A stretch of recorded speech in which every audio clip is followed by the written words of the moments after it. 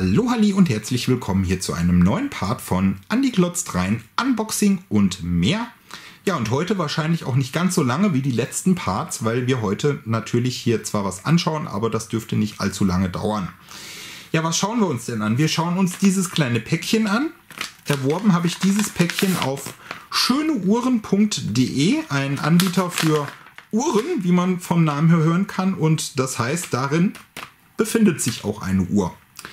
Ähm, Im Übrigen kann ich diesen Verkäufer tatsächlich auch wirklich empfehlen. Da gibt es immer mal schöne Uhrenangebote, ähm, Tagesangebote, Wochenangebote, Monatsangebote. Ihr bekommt da auch Modelle, die ihr vielleicht nicht unbedingt woanders so gut in äh, diversen Versionen bekommt und auch wirklich für faire Preise. Das sei vielleicht nur mal am Rande gesagt, dazu aber später noch mal mehr, was jetzt das Modell hier gekostet hat und was das für ein Modell ist. Vorher vielleicht mal, warum überhaupt eine neue Uhr? Ich habe ja hier eine an, ganz einfach, ich zeige euch die mal. Das ist eine Casio Funkarmbanduhr, betrieben mit Solartechnologie. Allerdings, die läuft zwar noch, kann man am Sekundenzeiger hoffentlich erkennen. Allerdings ähm, läuft die ja 20 Minuten nach. Ich weiß nicht, woran es liegt. Das ist mir jetzt letztlich auch egal. Ich habe mir jetzt hier diese neue Uhr bestellt. Die werde ich gleich auspacken. Und ähm, die kommt dann ja zum Alteisen oder ähnliches. Was ist das jetzt hier? Das ist eine Diver. Diver bedeutet Taucheruhr. Also eine wirklich sehr schöne Uhr auch vom, vom Design her, wie ich finde. Hersteller sind in diesem Fall Orient. Orient ist vielleicht nicht unbedingt die bekannteste Marke, gerade in Deutschland, in Amerika vielleicht schon eher. Es gibt auch auf YouTube nicht wirklich viele deutsche Videos, die mal so eine Uhr vorstellen oder zeigen. Und deswegen dachte ich mir, okay, das wäre doch mal was, um vielleicht auch mal ein deutsches Video zu zeigen oder vielleicht auch speziell zu diesem Modell mal was zu zeigen auf Deutsch. Was ist es für ein Modell? Es ist die Orient Ray 2, also die Version 2 dieser Uhr. Es gab schon mal da eine Ray 1 die ist noch mal ein bisschen verbessert worden. Die hat noch ein besseres Uhrwerk verbaut. Ähm, hat ein blaues Ziffernblatt, also es ist eigentlich die Blu-ray, wenn man so will. Und ähm, zusätzlich ist in diesem Umschlag hier auch noch ein separates NATO-Armband mit ja, integriert, sage ich mal. Das kann ich dann dementsprechend gegen das Edelstahlarmband, was standardmäßig zur Uhr gehört, dann austauschen. Ja, ich würde sagen, wir schauen uns die mal an packen die mal aus. Ich werde die dann natürlich erstmal stellen müssen etc., bevor ich weitermache. Aber ich möchte euch die ganz gerne erstmal zeigen. Jetzt muss ich mal erstmal gucken, wo das hier aufgeht. Ähm es ist im Übrigen eine Automatikuhr. Das heißt, diese Uhr läuft weder über Batterie noch über Solartechnik, sondern die muss man aufziehen. Ja? Also ihr könnt jetzt nicht sagen, gut, okay, ich ziehe mir die einmal auf und dann geht die permanent richtig, sondern es ist einfach die Sache, dass ihr diese Uhr natürlich immer mal wieder neu aufziehen müsst. Die hat zusätzlich zum normalen, ich sag jetzt mal, Aufzugmechanismus über Handbewegung, hat die zusätzlich noch einen Handaufzug. Dann dreht ihr praktisch an der Krone und dann könnt ihr die Uhr immer mal wieder aufziehen oder nachziehen, auch nach einem Tag oder zwei Tagen, je nachdem. Es gibt auch Modelle, die tatsächlich über ja, was weiß ich, 20 Sekunden pro Tag an Zeit einbüßen und es gibt Uhren, die büßen vielleicht mal ein bis zwei Sekunden im Idealfall pro Tag ein. Das kommt halt immer auf die entsprechende Uhr an. Bei ihr soll es tatsächlich so sein, dass die sehr wenig am Tag verliert. Es kann natürlich auch mal sein, dass es ein bisschen mehr ist. Es kommt wahrscheinlich auch darauf an, wie die Uhr letztlich äh, vom Werk her eingestellt ist. Ich würde mal sagen, ich ziehe jetzt erstmal hier meine alte Uhr aus. Die stört mich nämlich gerade etwas. So, und man hat schon gesehen, also sehr schön stabil verpackt, ja. Ähm, war auch nochmal in einem separaten Umschlag drin gewesen. Das war natürlich jetzt nicht so zugeschickt, wie ihr das eben gesehen habt, sondern ähm, war nochmal in einer Umverpackung drin, also wirklich auch sehr gut verpackt gewesen. Wir haben jetzt hier auf der einen Seite erstmal, vielleicht vorweg gesagt, das NATO-Armband. Ich hole das mal gerade aus der Tüte raus, um euch das erstmal zu zeigen.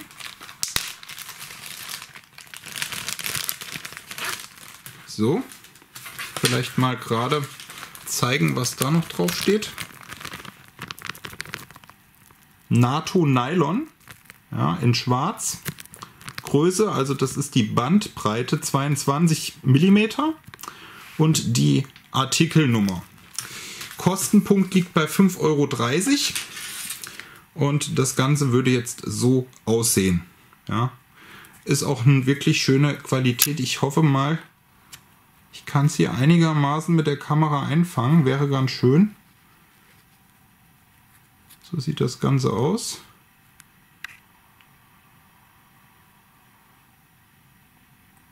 Und fühlt sich auch wirklich sehr hochwertig an. So, das lege ich erstmal zur Seite. Das brauchen wir jetzt erstmal nicht. Das Tütchen kann auch erstmal weg. Und dann gucken wir uns mal hier die Schachtel der Orientuhr an. Das ist erstmal nur eine ganz simple weiße Schachtel mit einem ja, glänzenden Schriftzug, wo tatsächlich auch Orient steht. Ja, also das ist so ein Glanzmaterial. Simpel gehalten, aber wie ich finde, schon schöne Schächtelchen. Das mache ich mal eben auf und hole erstmal Uhrenbox raus, weil ihr bekommt hier auch zusätzlich zur Uhr auch eine entsprechende Uhrenbox. Und die ist wiederum, wie ich finde, sehr schön. Da haben wir ein glänzendes Material, schwarzer Schriftzug, fühlt sich sehr hochwertig an. Hier nochmal so kleine Schräubchen. Ist auch ganz in schwarz gehalten. Fühlt sich, ja, fühlt sich wirklich sehr schön an, gefällt mir vom Material her. Ich weiß gar nicht, ist das gummiert? Könnte gummiert sein. Sicher bin ich mir allerdings nicht. So, und jetzt würde ich sagen, wir machen das Ganze mal so, dass ich jetzt erst einmal schaue, dass ich meine Kamera ein bisschen anders justiere von oben weg, dann sieht man vielleicht die Uhr besser. Das heißt, ich schalte mal ganz kurz ab und schalte gleich wieder ein. Werfen wir doch jetzt noch einen Blick von oben auf die Schachtel und wie die denn öffnen geht. Bin mal gespannt. Ich denke mal, dass die klappbar ist. Ich versuche jetzt erstmal hochzuziehen, den Deckel. Nein, also er geht nur hier vorne nach oben. Das heißt, es ist tatsächlich eine Klappschachtel. Was haben wir denn da? Ein Heftchen. Was ist denn das für ein Heftchen? Das ist ein wahrscheinlich Bedienheftchen. Holen wir das mal raus. Ach, das sind sogar zwei Heftchen. Okay. So, da haben wir zum einen Mechanical Watch. Automatic, a Hand Winding Mechanism, also mit Handaufzug. Das ist dann wohl die Bedienungsanleitung. Und was haben wir hier? Wahrscheinlich das Garantiekärtchen. Ja, das ist das Garantiekärtchen. Das legen wir mal zur Seite. Und da sieht man jetzt auch die Uhr. Mal gucken, kann ich da ein bisschen ranzoomen. So, ein bisschen rüberschieben. So sieht die Uhr aus. Man kann jetzt hier auch schon ganz schön erkennen, die Blautöne mittendrin. Sieht jetzt aus, als wäre es eine Mischung aus schwarz und blauem Ziffernblatt, aber es ist tatsächlich je nach Lichteinfall anders. Ich mache mal gerade hier die Tischlampe an. Da sieht schon wieder ein bisschen anders da aus. Ich denke mal, je nachdem, wie ich jetzt die Uhr drehe, verändert sich die Farbe dann auch. Hier kann man es ganz gut sehen. Ja, also dementsprechend, wie das Licht aufs Ziffernblatt fällt, wird das dann mehr blau oder mehr schwarz. Fand ich persönlich wirklich schon mal schöner als ein reines schwarzes Ziffernblatt. Es gibt von dieser Uhr noch ein ähnliches Modell, das nennt sich Mako bzw. Mako 2 bei dieser Ausführung der Uhr. Und ähm, die Mako hat im Prinzip hier oben bei 12 Uhr bei 9 Uhr und bei 6 Uhr nochmal eine Zahl stehen, statt hier diesem einfachen Indexstrich. Und hat, glaube ich, auch ein bisschen andere Zeiger. Und auf der Lünette, die ist auch ähnlich, sind die Zahlen, also hier zum Beispiel die Zahl, ist da ein bisschen kleiner. Also es, es wirkt im Prinzip ziemlich ähnlich. Es ist natürlich ja, die Auffassung, dem einen gefällt das besser, dem anderen das. Ich fand halt irgendwie sie ein bisschen schicker. Aber ich denke mal, wenn sie mir gefällt, werde ich dann auch irgendwann vielleicht nochmal sagen, hm, so als Zweituhr vielleicht nochmal die Mako. Dann kann man die Uhr natürlich auch nochmal schön vergleichen. Wie das Lumen bei der Uhr ist, also das Leuchten in der Dunkelheit, das werden wir dann später auch nochmal probieren und testen. Ja, also ich meine, bei der alten Uhr, die hatte im Prinzip gar keinen Lumen, wenn man so will. Die hatte nur eine komische Birne eingebaut.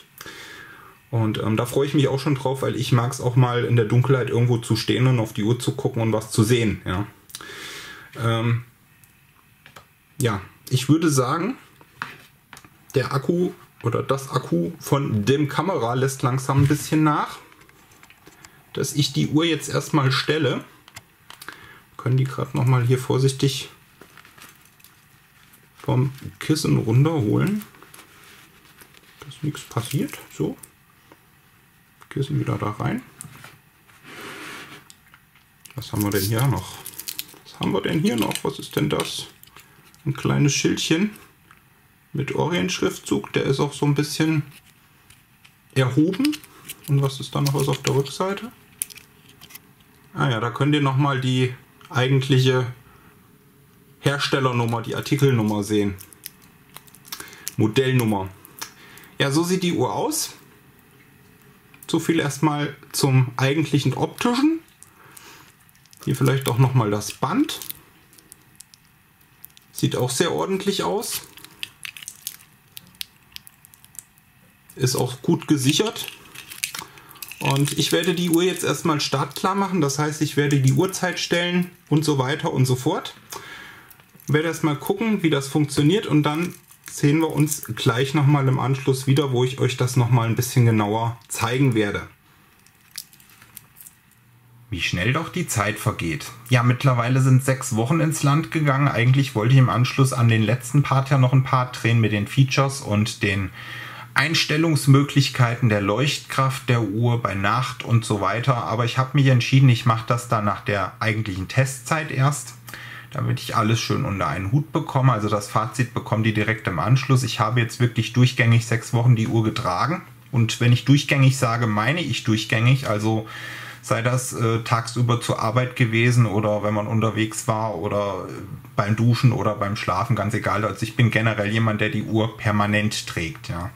Und dementsprechend bekommt ihr jetzt auch wirklich dann im Fazit nochmal was zum allgemeinen ähm, Tragen der Uhr gesagt und natürlich auch, wie die Abnutzung oder Nicht-Abnutzung in der Zeit ist. Aber dazu später mehr. Es gibt generell einen großen Kritikpunkt bei der Uhr, den werde ich euch dann auch nochmal erläutern. Kommen wir erstmal hier zu einem kleinen Vergleich noch zwischen der Casio-Uhr und der Orient-Uhr. Man sieht hier schon beim Uhrengehäuse, das macht sich nicht wirklich viel von der Größe her, finde ich jetzt persönlich. Was natürlich jetzt hier bei der Casio-Uhr ein bisschen schlechter ist, das ist das Glas. Das ist reines Kunststoff, das verkratzt auch wirklich sehr schnell. Im Gegensatz zur Orient-Uhr, da haben wir ein Mineralglas. Das ist jetzt zwar auch nicht das, ich sag mal, Ultimo für viele. Viele sagen, hm, muss man Saphirglas nehmen. Das wird am stabilsten dann auch sein und das gibt kaum Kratzer und so. Dazu aber dann auch nochmal später mehr. Also wir haben jetzt hier ein Mineralglas verbaut, was auch sehr kratzresistent sein soll. Wie ihr seht, habe ich auch mittlerweile das NATO-Armband hier an der Uhr angebracht. Und das Edelstahlarmband hat sogar noch die Folie drauf. Das heißt, ich habe das auch tatsächlich gar nicht erst getragen, weil ich mir dachte, naja gut, okay, ähm, das NATO-Armband ist leichter, das sitzt gemütlicher auf dem Arm, das ist nicht ganz so schwer. Macht die Uhr vielleicht auch noch mal ein bisschen schlanker, wenn man es mal jetzt hier mit einem Edelstahlarmband vergleicht ist wahrscheinlich so ein bisschen eine Eingebungssache. Also ich persönlich finde einfach, es, es steht der Uhr irgendwie, ja, es, es sieht sportlicher aus, ja. Und es ist halt diese Sache der etwas leichteren Tragweise, was mich dann so ein bisschen dazu motiviert hat, dieses Armband anzubringen. Das war auch gar nicht großartig schwer. Da gibt es wirklich auch schöne Tutorials, wie man sowas wechseln kann auf YouTube. Da braucht er im Prinzip nur einen kleinen Schraubenzieher und ein bisschen ähm, Fingerspitzengefühl, dann klappt das ganz gut. Da einfach vielleicht mal auf YouTube suchen, wenn da jemand wissen möchte, wie das geht. Ja, vielleicht sei noch mal hier zum eigentlichen ursprünglichen Original Edelstahlarmband was gesagt. Das mache ich auch gerade mal ein bisschen größer. Ähm, das hat einen Bandanstoß von 22 mm. Das ist wichtig für diejenigen, die sich tatsächlich ein NATO-Armband holen möchten. Ähm, der Bandanstoß ist im Prinzip hier diese Breite vom Armband, wenn man so will. Was gefällt mir persönlich sehr gut an dem Armband, das ist die Tatsache, man arbeitet hier sowohl mit mattem als auch mit glänzendem Material. Also ihr habt hier, ich hoffe, man kann es einigermaßen sehen, diese kleinen Ringe. Das ist Hochglanz, dann hat man hier matte Flächen, dann hat man wieder Hochglanz, wieder matt. Das ist auch in Hochglanz gehalten. Hier haben wir auch nochmal den Orient-Schriftzug schön eingelassen.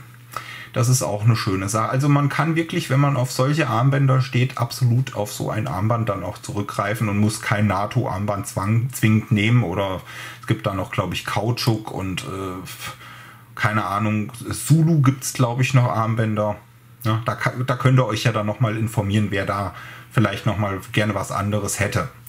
Ja, das vielleicht mal zum Armband an sich. Ähm, kommen wir gleich noch mal kurz auf die Uhr zu sprechen. Also die Uhr ist wie gesagt eine Automatikuhr. Ich tue jetzt gerade mal die alte Uhr weg.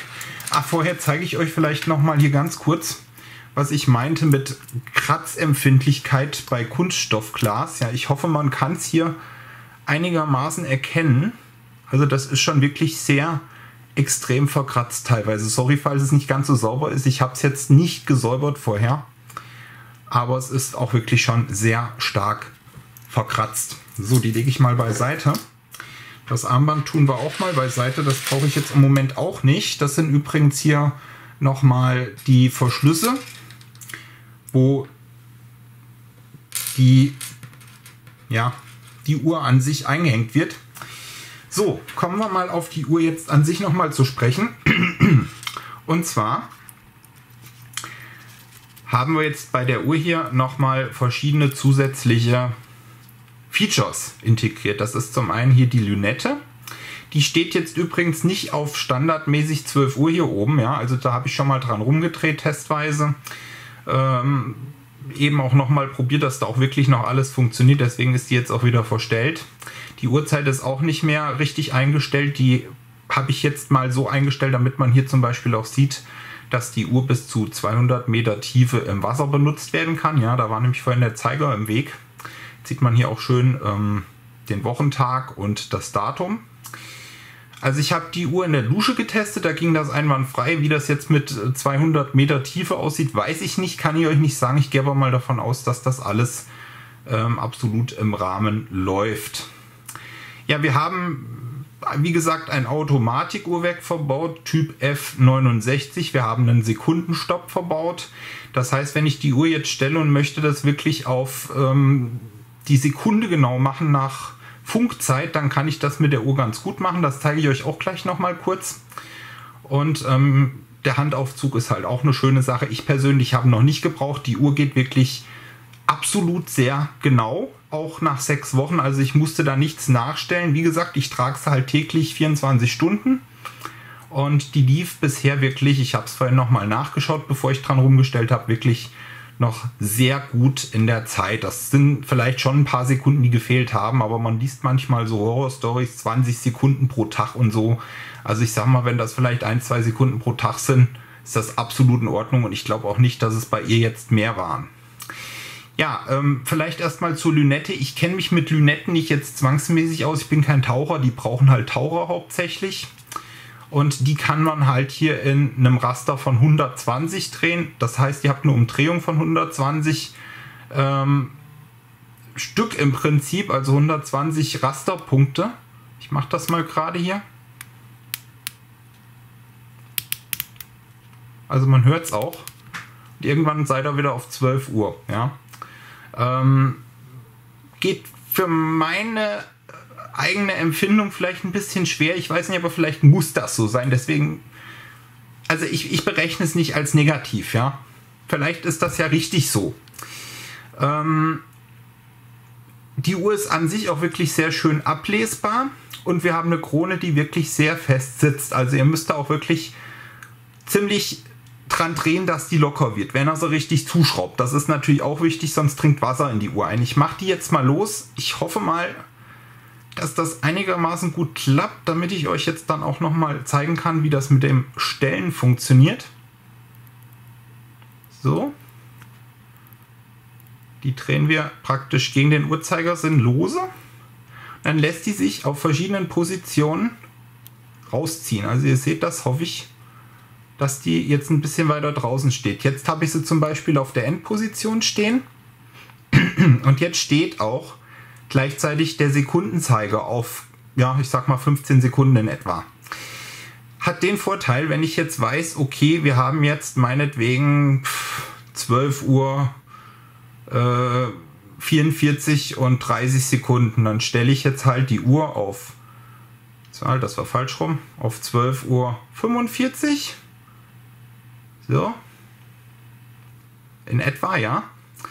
So, und jetzt warte ich, jetzt gucke ich dann auf meine Funkuhr, die halt vielleicht neben mir steht oder so, und irgendwann schaltet dann der Sekundenzeiger bei der Funkuhr auf 00 um. Ja, dann habe ich exakt 12.45 Uhr. Und de zu, zu dem Zeitpunkt drücke ich dann einfach hier einmal ein Stück rein und dann läuft der Sekundenzeiger automatisch weiter und dann habt ihr die exakte Uhrzeit, wie ihr die braucht.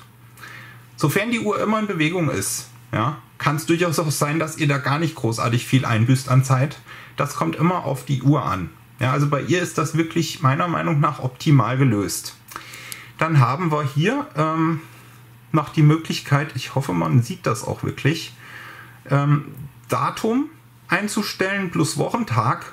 Die Uhr hat leider jetzt hier ähm, das Problem, dass wir hier kein Deutsch haben. Also wir haben hier, ich weiß nicht, was das ist, ob das Spanisch ist oder Französisch noch dabei und Englisch. Ja, also Englisch ist für meine einer dann perfekt geeignet. Aber ihr könnt halt jetzt die Uhr hier nicht direkt auf deutsche Sprache stellen. Das geht leider bei diesem Modell jetzt nicht. Ich weiß nicht, ob es das bei dem Modell überhaupt gibt oder ob das eine Glückssache ist, wie man die Uhr halt bestellt. Das ist der zweite Schritt, den ihr einstellen könnt. Da müsst ihr praktisch hier nur diesen Knopf einen Schritt nach innen drücken und wenn ihr den dann noch einen Schritt nach innen drückt, also den letzten Schritt, damit könnt ihr dann die Uhr aufziehen. Ich mache das mal gerade. Ich hoffe, man hört's.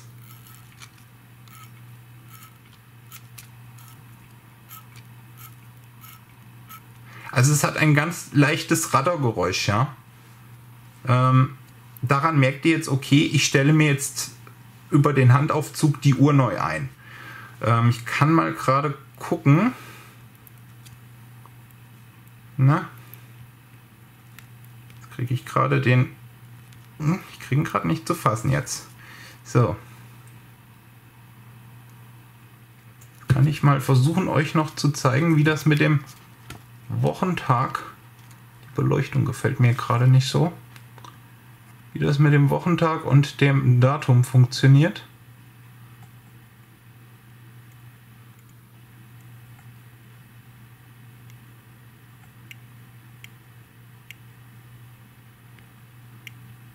Ja, also man sieht es, glaube ich.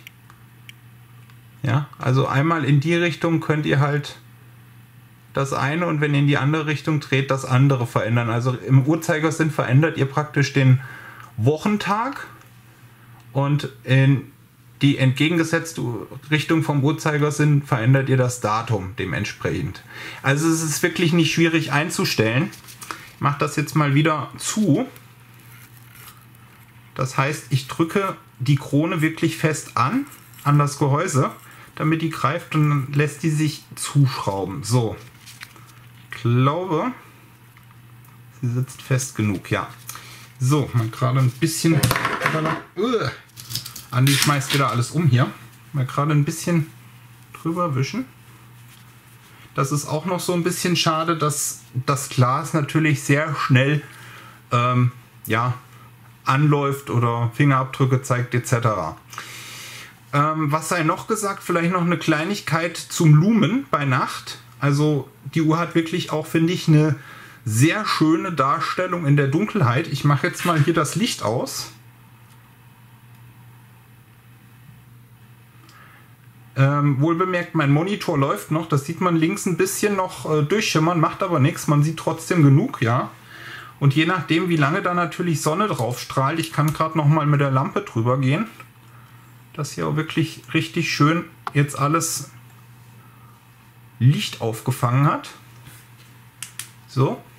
Und so sieht das Ganze bei Nacht aus. Und unten zum Beispiel bei, ja, ich sag mal circa 6 Uhr, seht ihr jetzt den kleinen grünen Punkt. Das heißt, die Lünette ist jetzt im Prinzip fast genau um 60 Schritte gedreht worden. Also eigentlich ist dieser kleine Punkt oben bei 12 Uhr. Ja, also wenn ich die jetzt nochmal 60 Mal oder meinetwegen 61 Mal oder was weiß ich drehen würde, wäre die wieder optimal eingestellt. Also normal ist dieser Punkt direkt oben. Ja. Muss man nicht kammern. Ja, ähm, das vielleicht auch nochmal dazu. Ansonsten wäre das eigentlich schon alles, was ich euch irgendwie zeigen könnte. Mir fällt jetzt im Moment auch tatsächlich nicht mehr ein. Ähm, vielleicht eine Sache noch. Wir haben hier bei der Uhr eine ähm, Reserve, eine Gangreserve von 40 Stunden, vielleicht auch noch ein bisschen drüber. Das heißt, wenn die Uhr jetzt irgendwo liegt und nicht in Benutzung ist, läuft die natürlich eine Zeit lang weiter. Es ist bei einer Automatikuhr aber nicht so, dass die permanent läuft. Das heißt, ähm, irgendwann bleibt die stehen. Ja. Aber 40 Stunden sollte das eigentlich auch ohne irgendeine Bewegung funktionieren. Danach müsst ihr natürlich dann wieder schütteln oder so manuell über den ähm, Handaufzug aufziehen. Dann läuft die Uhr natürlich auch weiter. Also ihr braucht keine Batterie, ihr braucht keine Sonne, also kein Solar, damit die Uhr funktioniert, sondern das Ganze funktioniert tatsächlich über Bewegung oder den Handaufzug. Ja, ich denke mal, wir haben jetzt alles, was zu sagen war, auch gesagt. Ich hoffe, ich habe nichts vergessen. Und ähm, kommen wir vielleicht noch zu einem Schlussfazit. Die Uhr selber, wirklich super Modell, also gefällt mir sehr gut. Wenn wir mal das Licht wieder anmachen hier. Gefällt mir wirklich sehr gut. Was mir auch sehr gut gefällt, ist hier dieser wie gesagt, Blauschimmer-Effekt, je nachdem, wie man die Uhr hält. Ja, also gerade draußen in der Sonne sieht das natürlich echt genial aus. Sie sitzt super stabil auf der Hand, auch mit NATO-Armband. Das Ganze wird ja hier unten so durchgezogen, ja. Also das ist auch doppelt gesichert hier durch diese Klemmerchen. Ähm, Sie läuft sehr genau. Wie gesagt, ich konnte überhaupt nichts feststellen jetzt in den sechs Wochen, dass da irgendwie vehement irgendwas von der Uhrzeit her nicht mehr gestummt hätte. Und ähm, ja, gut, preislich ist das, sage ich mal, jetzt zwar noch okay, aber für den Negativpunkt, den ich gleich noch nennen möchte, finde ich es ein bisschen schade, dass der Preis dann doch nicht vielleicht noch ein bisschen niedriger ist. Der Negativpunkt ist nämlich für mich tatsächlich das Mineralglas. Muss ich ganz ehrlich sagen, ich weiß nicht, ob es jetzt schon irgendjemand gesehen hat. Die Uhr hat jetzt in den sechs Wochen, obwohl ich die wirklich sehr, sehr, sehr vorsichtig benutzt habe, schon einen doch recht ansehnlichen Kratzer unten im Glas. Jetzt will ich mal gerade schauen, wo ist mein Kuli. Ich hoffe, man kann es einigermaßen erkennen. Hier unten in der Ecke. Ja, da ist jetzt schon ein Kratzer vorhanden. Und die Uhr hängt bei mir eigentlich standardmäßig sogar unterm Pulli. Also da dürfte eigentlich gar nichts passieren. Ich kann mich auch nicht erinnern, dass ich irgendwo angestoßen wäre oder ähnliches. Aber trotzdem ist hier in der Gegend schon ein wirklich recht auffälliger Kratzer. Gut, mich stört es jetzt nicht zwangsmäßig beim Draufschauen. Aber ich finde es halt gerade bei dem Preis, den ich für die Uhr bezahlt habe, ein bisschen schade. Ich meine, der Verkäufer kann da nichts für. Es war auch kein Kratzer vorhanden. Ich habe das nochmal nachgeschaut, bevor ich sie dann getragen habe. Aber ich finde das halt ein bisschen schade, dass Orient nicht vielleicht doch mal drüber nachdenkt und setzt da vielleicht doch irgendwie schon vom Werk aus Saphirglas ein. Ich weiß jetzt nicht, ob Saphirglas wirklich sonderlich viel bringt. Ihr könnt das gerne mal in die Kommentare schreiben. Ähm, aber dann bezahle ich lieber noch mal einen kleinen Aufpreis von 20 oder 30 Euro mehr für die Uhr, für das Modell, ja und habe dann aber die Uhr gleichzeitig noch mit Saphirglas. Ich sehe halt auch nicht ein, dass ich dann für die Uhr wegen Saphirglas ähm, vielleicht 50, 60 Euro mehr bezahle. Aber ich denke einfach mal, man bekommt das vielleicht doch hin, dass hier irgendwie noch ein Saphirglas-Modell äh, mit angeboten wird oder ähnliches. Ja, ja ähm, ansonsten, wie gesagt, meine Empfehlung, ich sag mal so, ich gebe für dieses Modell in diesem Format hier von drei möglichen Häkchen, zweieinhalb, ja, muss ich leider machen wegen dem Glas. Das ist für mich leider ein Nachteil. Ansonsten Funktionsweise und so weiter funktioniert wirklich einwandfrei bei der Uhr. Wenn euch das jetzt nichts macht, dass da vielleicht auch mal ein Kratzer ins Display kommt, ins, ins Glas kommt, Display sage ich schon, da bin ich wieder beim PC da gelandet, ähm, ins Glas kommt, dann könnt ihr euch ohne irgendein Problem, ohne irgendwie Angst haben zu müssen, euch da was Falsches zu kaufen, die Uhr holen. Seid euch aber darüber im Klaren, dass Mineralglas wohl doch noch ein bisschen anfälliger ist als Saphirglas. Denke ich mal. Ich habe noch nie Saphirglas gehabt, ich hatte noch kein Mineralglas, aber ich finde es ein bisschen enttäuschend, dass nach sechs Wochen schon so ein Kratzer da unten im Glas ist. Ja? Vor allen Dingen, wenn man bedenkt, das ist eigentlich ein Weihnachtsgeschenk an mich, wir haben noch nicht Weihnachten und ich habe jetzt schon einen Kratzer drin. Ist halt so, ja. Gut, ähm, ich hoffe, es war wieder mal ein bisschen interessant, hat euch was gebracht. Ähm, ich habe hier schon wieder Päckchen stehen mittlerweile nach sechs Wochen. Die werde ich jetzt dann auch die Tage mal irgendwann wieder auspacken und für euch dann vorstellen. Ich bedanke mich fürs Zusehen und wem es gefallen hat, der kann ja gerne wieder mal einschalten. Bis dann und macht's gut, Leute. Tschüss.